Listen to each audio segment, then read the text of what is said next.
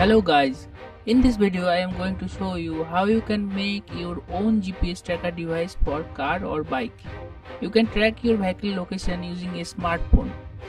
For this tracker no need to pay any extra service charge, only you have to pay a data charge to your SIM card service provider.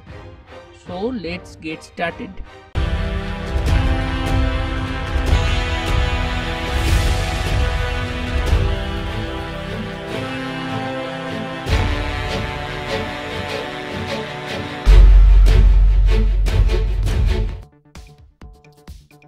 Making this GPS tracker device, I am using Neo 6M version 2 GPS module, ESP8266 Node MCU, a voltage step down module, some female header pins, a dotted Vero board, and a portable Wi-Fi router device. I am using a JioFi device. You can use any other wireless router.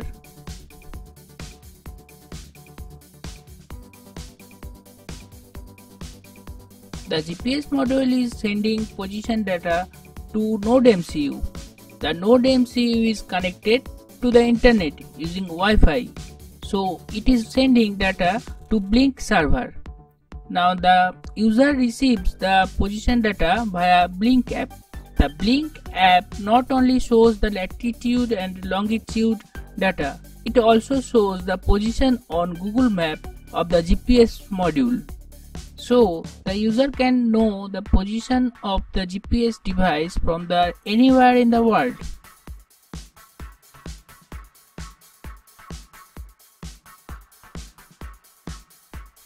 Download the Blynk app from Play Store.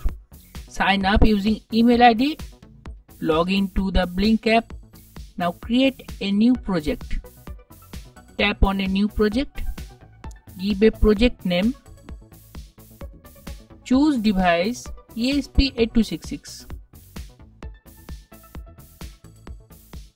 Connection type Wi-Fi. Theme I am choosing light theme. Now create. After the project is successfully created, the Blynk will send you an authentication code at your email ID.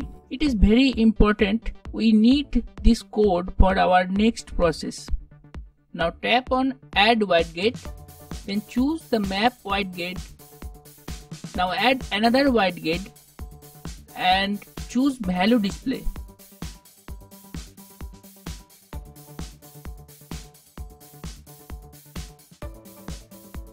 Add more two values display widgets.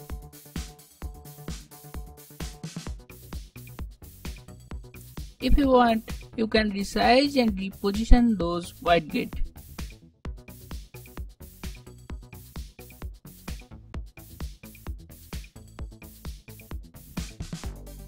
Now tap on the map, select input pin virtual pin 0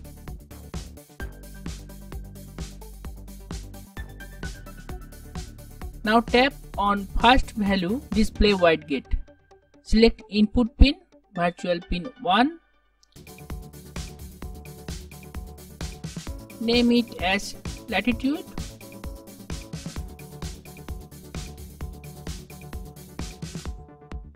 You can change display text color and size. And tap on back. Now set up second value display widget. Select pin to virtual pin 2. Name it to longitude. Set third value display widget as virtual pin 3 and name it speed. Our app setup is completed. I am using a breadboard for temporary connection and testing. Connect Node MCU D1 pin to GPS module RX pin. Node MCU D2 pin to TX pin of GPS module. GPS modules VCC connect to VU pin of Node MCU and GND pin to GND pin. it is not a final connection setup it just for a testing. Now connect NodeMCU to your computer using a USB cable. Open the Arduino code using Arduino IDE which is given the video description. You have to add tiny GPS library and Blynk library. You can download those libraries from given link. You have to install ESP8266 board support from board manager now paste here Blynk authentication code which you got when you created the project put your router SSID and password now go to tools board and select board NodeMCU 1.0 version. Select your COM port and upload the code. Now for testing, open the serial monitor at baud rate 115200. Here you can see your current latitude and longitude. Now I am making this circuit on a Vero board. Here is the circuit diagram.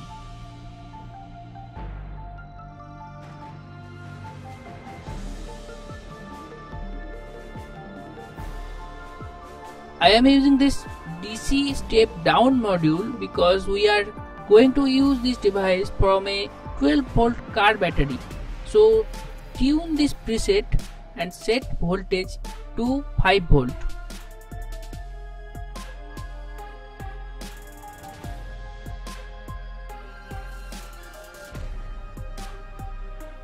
Now the circuit is ready.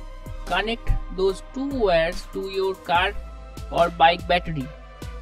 It is working with Wi-Fi so you have to keep this router device near this tracker. Here you can see the device is connected and it is showing the tracker location on the map. It is also showing longitude and latitude and speed.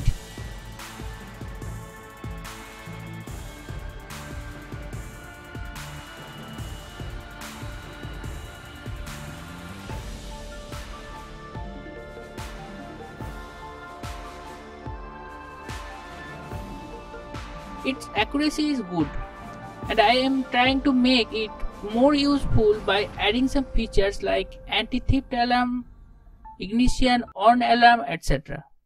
Thank you for watching. I hope see you again soon in the next video.